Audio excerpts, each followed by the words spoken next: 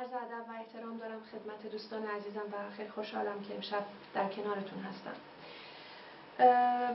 بر اساس گزارش های منتشر شده از زمان تحریف آقای حسن روحانی تا به امروز دست کم 223 نفر اعدام شدن که این رقم آمار بسیار نگران کننده ای رو نشون میده. به نظر من برای شناخت ذات نظام های استبدادی باید فاجعه هایی که در درون این نظام ها اتفاق میفته شناسایی بشن و مورد بررسی قرار بگیرن.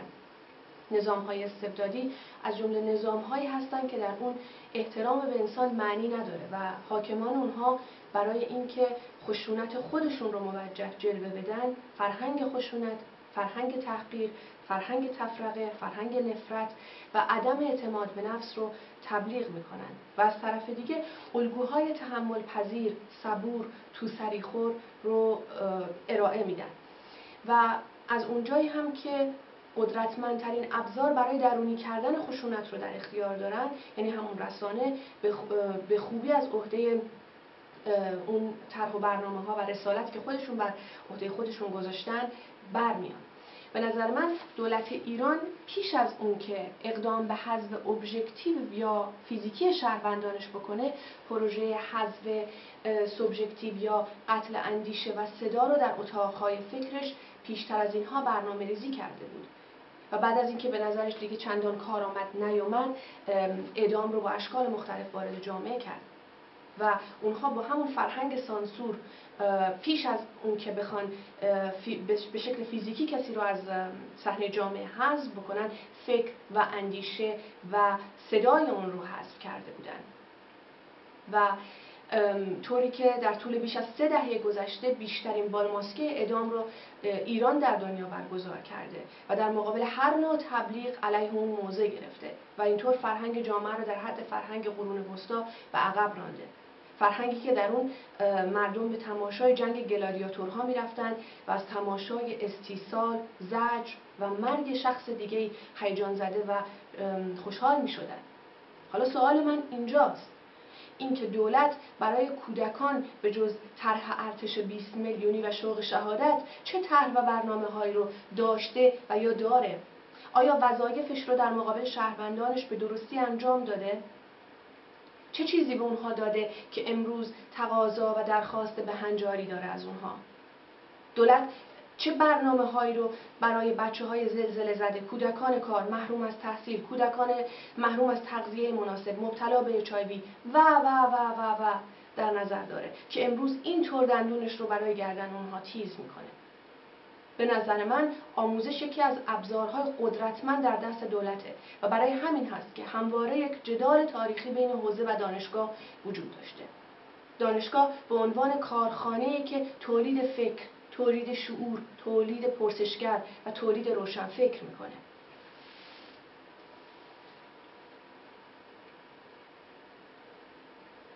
من فکر می‌کنم ما سالهاست که تحریم، تحقیر، قحطی، جنگ، مرگ، سرکوب و شهادت رو تجربه کردیم و تحت تسلط همین مشاهدات هست که شاید همونطور که الان می‌بینیم خود ما خارج از چهارچوب نظام دولتی شاید روزی هزار بار همدیگر رو اعدام می‌کنیم روزی هزار بار همدیگر حذف می‌کنیم.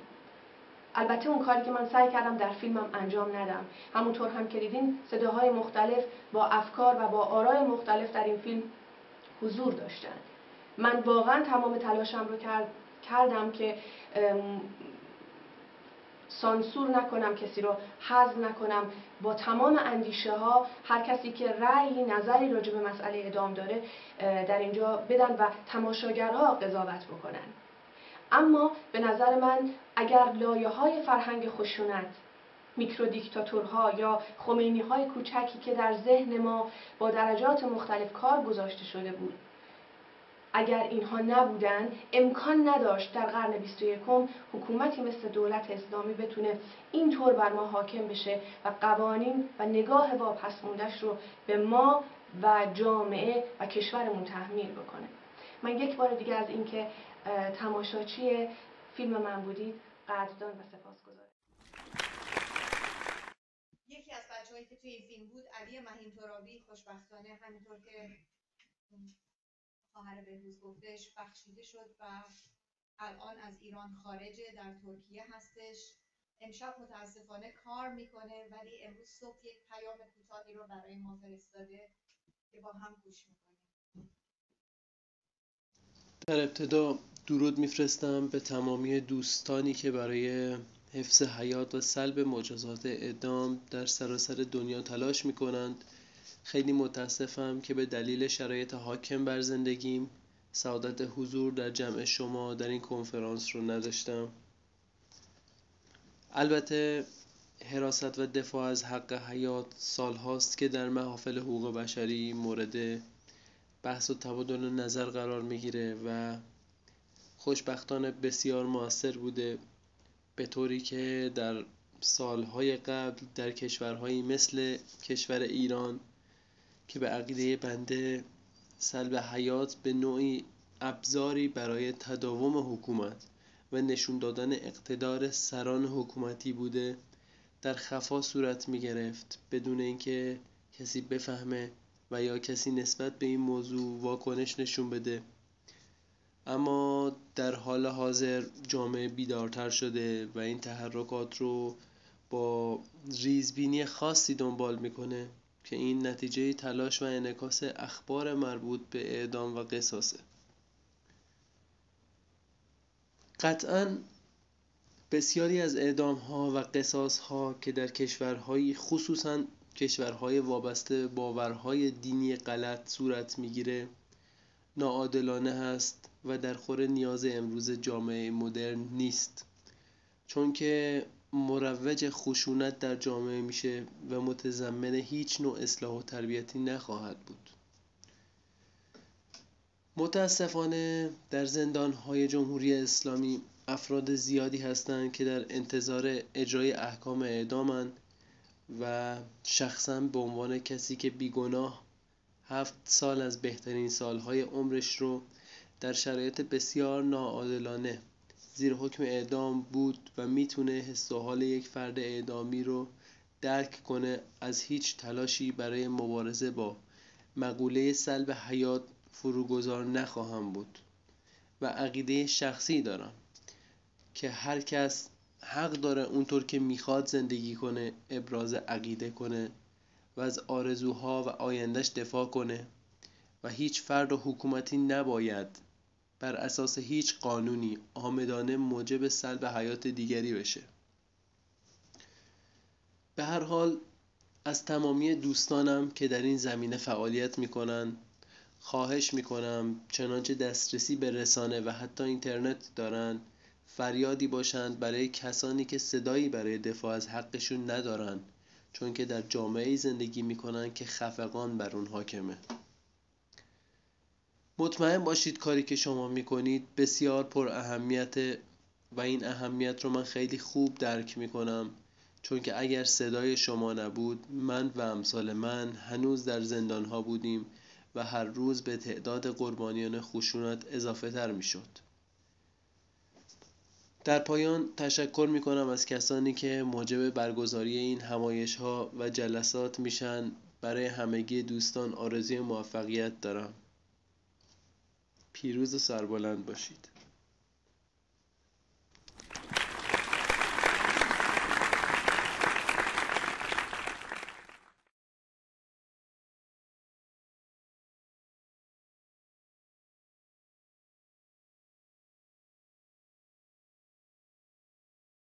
به همه دوستان و تشکر از انجمن پژوهشگران ایران که این فرصت رو فراهم کرده که ما همه گرد هم, گرد هم بیاییم و در مورد فاجعه اعدام در ایران با هم تبادل نظر کنیم.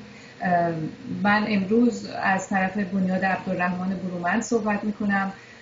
این بنیاد الان بیش از یا دوازده ساله که تأسیس شده با هدف مشخص مستند کردن همه موارد اعدام چه اعدام قضایی چه اعدام های فراغذایی مستند کردن اینها در یادبودی که امید نام داره یادبود امید در دفاع از حقوق بشر.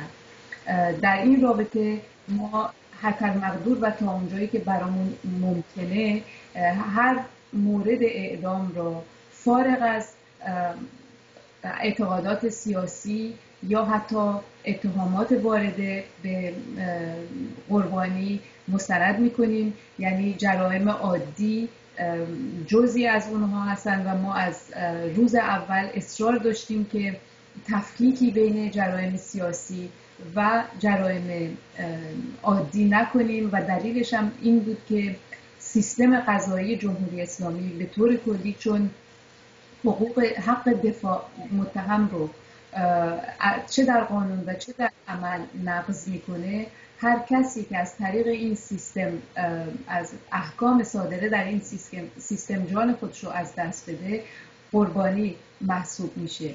و در این, در این رابطه برای ما بین قربانیان کوچکترین تفاوتی نیست چون حیثیت ذاتی انسان اینجا مخرج مشترک همه ما هست. چه قهرمان باشیم و چه یک جنایتکار و مجرم این تفاوتی نداره. اگر ما این ابتکار این طرح رو شروع کردیم که تا, تا کنون بیش از 16 هزار مورد رو با اطلاعات متفاوت کمیت و کیفیت اطلاعات متفاوت مستند کردیم و به دو زبان فارسی و انگلیسی منتشر می‌کنیم از در, در اینترنت این به این دلیله که ما فکر کردیم که در هر حکومتی به یک نوعی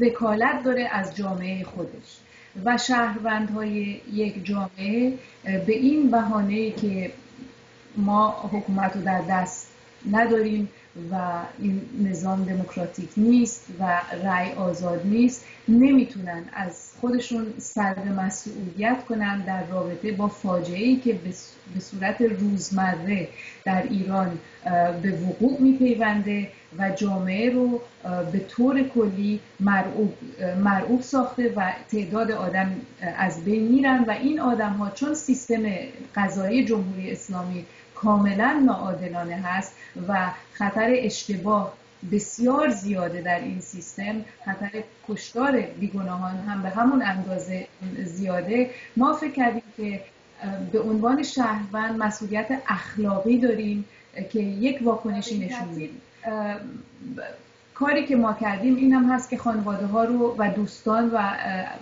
عزیزان قربانیان رو تشویق می‌کنیم که با ما تماس بگیرن و اطلاعات خودشون رو درباره اون قربانی به ما بدن که ما بتونیم صفحه سرگذشت اون انسان رو حتی مقدور از حالت یک آمار و یک رقم در آورده و یادآور بشیم که یک انسانی اینجا از بین رفته و یک زندگی متلاشی شده و خانواده بدبخت شده.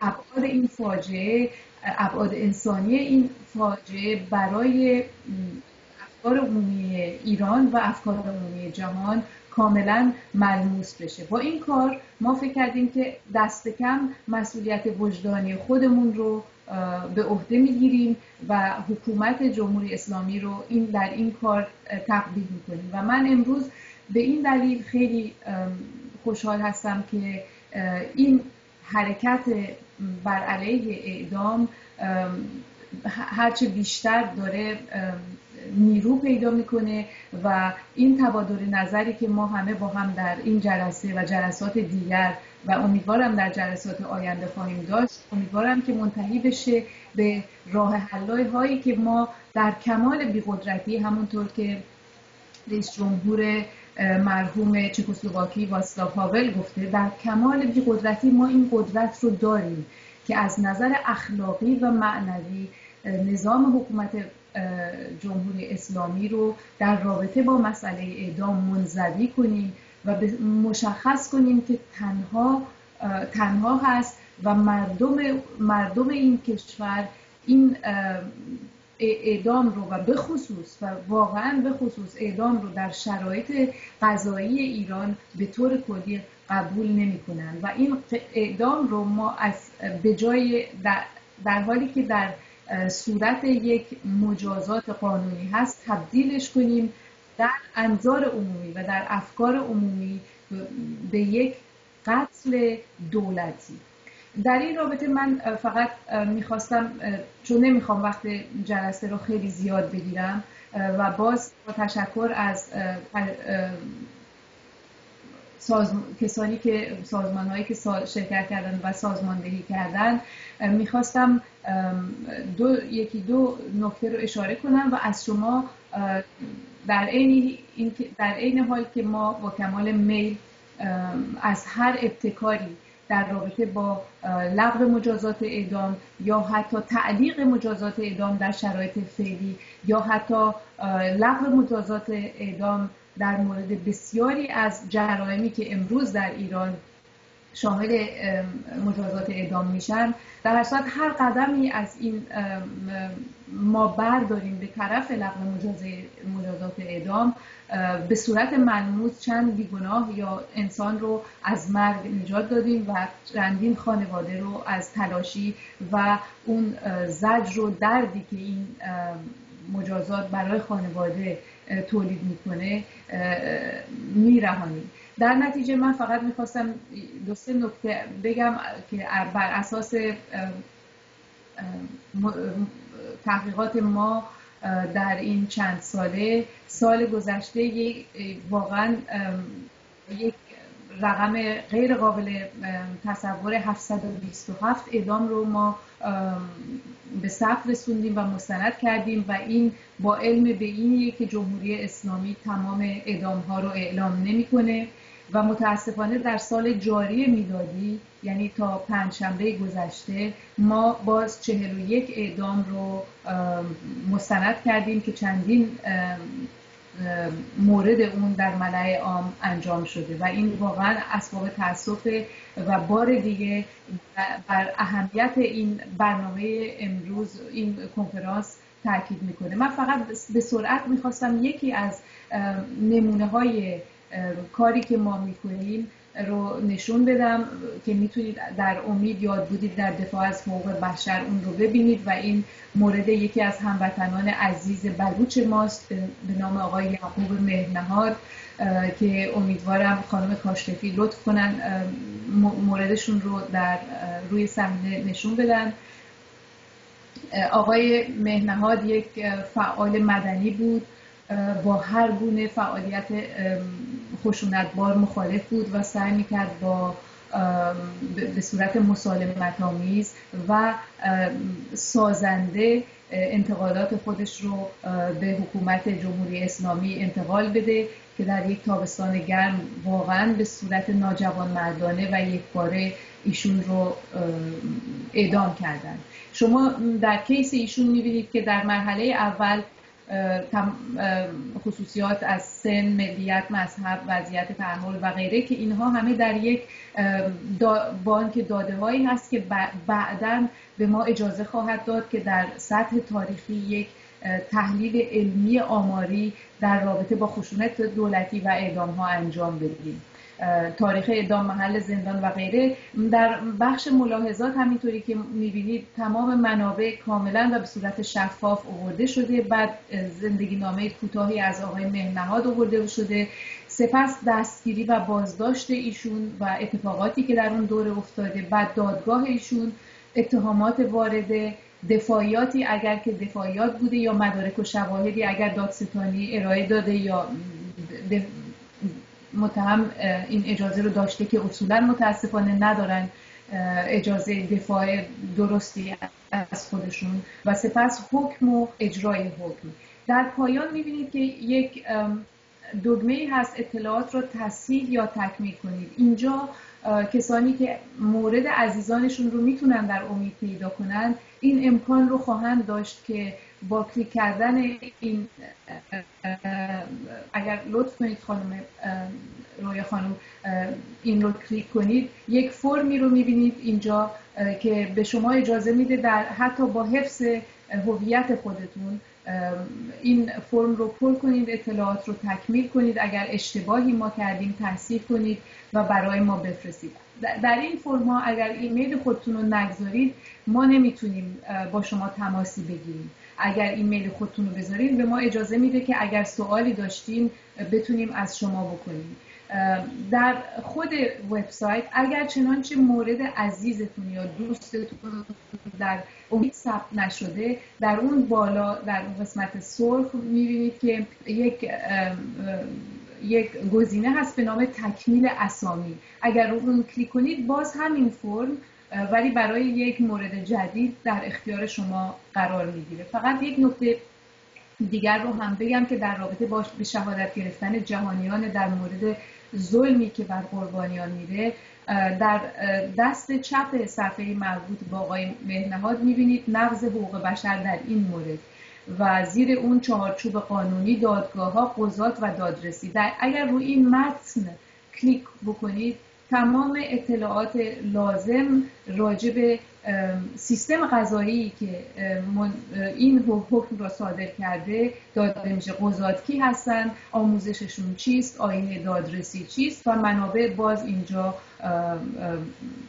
کاملا مشخص شده. این کار به صورت کاملا آکادمیک و علمی انجام میشه و ما حتی مقدور سعی می‌کنیم که از منابع خیلی جدی حقوقی استفاده کنیم. بعد از اون تک تک حقوق آقای مهنهاد که نقض شدن مطرح میشه. شما می‌بینید حق آزادی امنیت شخصی و حق مسئولیت از دستگیری و بازداشت خودسرانه. اگر رو هر کدوم از این مواد کلیک کنید اون ماده حقوق بشر رو به فارسی در یک جعبه دیگه خواهید دید. و اینطور جهانیان و خود حتی هموطنان عزیزمون می‌تونن ببینن که در هر موردی مورد اعدامی چند ماده از حقوق اساسی و ذاتی انسانی توسط جمهوری اسلامی و مقامات قضایی نقض شده و باز در این رابطه جهانیان می‌تونن ظلمی رو که بر قربانیان میره مشاهده کنند و حقوقی که جمهوری اسلامی اون حقوق به رسمیت شناخته و حتی امضا کرده و خودش نقض می‌کنه اونها هم مشخص بشن. این کاری است که ما انجام میدیم و امروز من از این فرصت استفاده می‌کنم از همه دوستانی که عزیزی رو از دست دادن آشنایی دارن تقاضا می‌کنم مسررانه که امید رو به اونها معرفی کنن و به ما کمک کنن چون هرچه این بانک داده ها کامل تر بشه. نه تنها یک نوع التیام و ابراز همبستگی به خانواده ها بلکه یک مجموعه اطلاعات خیلی غنی برای آینده ایران ایجاد خواهد شد. برای موقعی که می‌خوایم قوانین رو اصلاح کنیم موقعی که دوران گذار به یک نظام دموکراتیک موقعیتش فراهم خواهد شد که من تردیدی ندارم که یک روزی اینطور شد.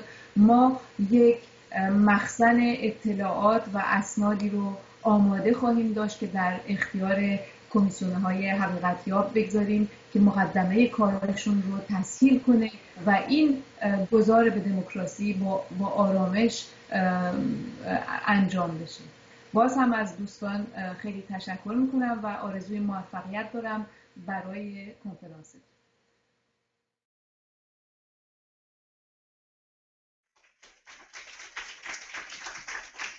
آخرین که می‌خوایم امشب براتون نشون بدیم گزارشی از ایران از تلاش هایی که گروهی از مادران می‌کنند و نحوه کارشون به چه ترتیب هست که سعی کنند یا دیه جمع بکنند یا رضایت خانواده مقتول رو بگیرند. با هم گوش می‌کنیم. سلام می‌کنم به کنفرانس عزیز و بسیار پرارزش حق حیات مجازات مرگ.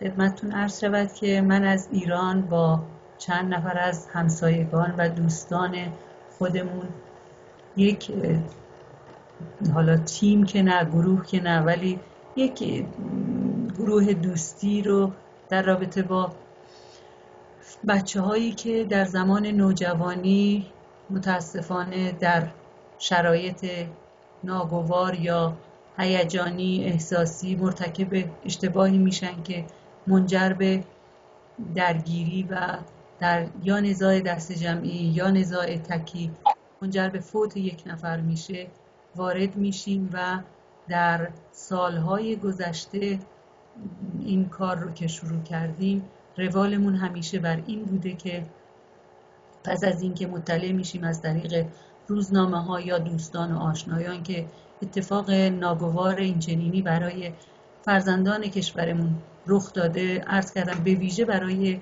نوجوانان تا 18 سال.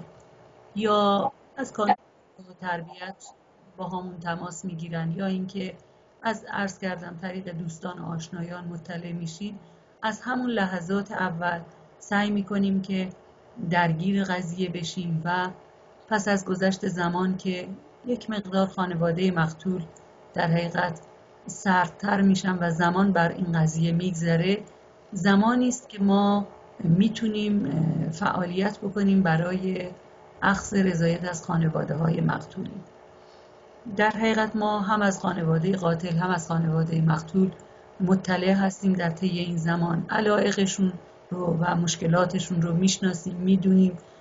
بهشون تا جایی که بتونیم کمک های مادی و معنوی میرسونیم از طریق دوستانمون گردآوری می‌کنیم که اینها بیشتر از این در فشار و مزیقه نباشن. پس از مدتی که سپری میشه ارز کردم سالهای بعضی وقتا دو سال پنج سال هشت سال بسته به ما کیس داره بسته به وضعیت خانواده داره بسته به وضعیت اون فردی داره که از بین رفته. متفاوت. پس از چند مدتی که عرض کردم متفاوته ما وارد قضیه میشیم درگیر میشیم به صورت جدی. در بهله اول هدف این هستش که واقعا همدردی بکنیم با خانواده کشته شده که طبیعتا یک خدمت شما عرض شود که عزیز بسیار بسیار ارزشمندی رو از دست دادم و به نوع بسیار بدی. بسیار کار سختیه که به جای اینکه در وهله اول اونها فکر کنن که ما از خون فرزندشون در نظر داریم که بگذرن به جای این این رو در دلشون مینشونیم که ما برای همدردی و برای تشریک مسایی آمدیم. پس از اینکه ما رو به هر ترتیب اینها میپذیرند و در حقیقت با همون کنار میان آرام آرام سمت افرادی که می‌شناسیم اینها به اونها علاقه دارند در جامعه جایگاهی دارند. ولی ما در حقیقت فکر می‌کنم بزرگترین موفقیت و رمز موفقیت این هستش که نه کارمون رو رسانه ای می‌کنیم نه به دیگران اطلاع میدیم. در محیط خانوادگی به نوعی دوستانه و همسایگی این کار رو انجام میدیم که حساسیت زانه باشه خانواده کشته شده برانگیخته نشه و به تمام در حقیقت حریم اونها احترام بگذاریم و حریم خصوصیشون رو به نوعی نشکنیم که بعدها می‌دونید دامنگیر خانواده قاتل میشه و ممکنه که این حساسیت ها حتی باعث بشه که اینها از رضایت صرف نظر بکنن. یعنی ما واقعا دست خالی برگردیم. علی رغم تمام این مسیرهایی رو که من خدمتتون عرض کردم و ما تلاش می‌کنیم که توی همین چارچوب حرکت بکنیم خب بعضی اوقات جواب نمیده ولی امسال نهایت تلاشمون رو که کردیم تقریبا به چهارده نفر فکر می‌کنم تونستیم رضایت بگیریم و نجات بدیم اینها رو که در چند روز آینده هم امیدواریم که این ماجرا اتفاق بیفته. البته با لطفی که از اون سمت منتظریم که شما هم ما رو یاری بکنید و در حقیقت تلاش ما رو دوچندان بکنید و نیرو و انرژی مثبتتون رو سمت ما بفرستید. این هدفی که عرض کردم خدمتتون در کمال آرامش و در کمال تومعنینه انجام میشه. به این جهت هستش که ما خودمون می‌دونیم که خانواده های کشته شده بسیار بسیار داغ دیده و در حقیقت شعلهور هستن برای همین بهتره که در نهایت آرامش و به سلامت این قضیه رو شروع بکنیم و به اتمام برسیم. یعنی جان یک انسان ممکنه با یک حرکت کوچک ما به خطر بیفته. و این دلیل ما یک الگو و چارچوبی که عرض کردم داریم بیشترش حول محور فرهنگ اون خانواده و تلاش بر حول مدارا و رعایت خانواده کشته شده میگذره. و تلاشمون تا کنون بی نتیجه نبوده در بسیاری از اوقات 90 درصد اوقات نتیجه داده. در آخرین گزارشی که می‌تونم به صورت در حقیقت بروز خدمتون ارائه بدم. از سال 86 ما در لوشان یک پسر بچه 16 ساله بوده که الان 10 سال بوده در زندان لوشانه 26 ساله شده. پس از 21 بار رفت و آمد که در آخرین بار هم حقیقتش تصادف هم کردیم. ولی به هر حال موفق شدیم و با رقمی این کار رو به اتمام رسوندیم و بسیار بسیار هم خوشحالیم از این قضیه. بحث در حقیقت ما در گروه خودمون عرض کردم بیشتر به صورت خودجوش و پیروی می‌کنه از سرمایه اجتماعی به نام خانواده که ما از خانواده ها عرض کردم و همسایگانمون استفاده می‌کنیم توی این زمینه که بسیار بسیار تا کنون بی سر و صدا و بی درد سر این کار رو انجام دادیم و برامون نتیجه مهم بوده که تا کنون خوب به دست آوردیم. زیاد هم ناراضی نیستیم. ولی در انتها من می‌خواستم یک در حقیقت پیام بسیار کوتاهی رو خدمت شما عزیزانی که صدای من را از ایران میشنوید ارسال بکنم و خدمتون بفرستم و اون همینه که در داخل همه ما تلاشمون بر اینه که صلح و مدارا رو در جامعهمون با توجه به فشارهای اقتصادی اجتماعی و فرهنگی گسترش بدیم. چون حقیقتا اگر بتونیم این فرهنگ مدارا رو در درون خودمون خانوادهمون همسایگانمون و دوستانمون تقویت بکنیم و اشاعه و گسترش بدیم اطمینان داشته باشید که از این گونه در حقیقت رخدادهایی که منجر بشه به این چنین حکمهایی نخواهیم داشت. می‌دونید قصاص متاسفانه نباید صادر بشه. وقتی که در حقیقت به دست خانواده مقتول کاری رو میسپرن که اونها هم منتظر این کاری هستن از اساس این کار غلطه.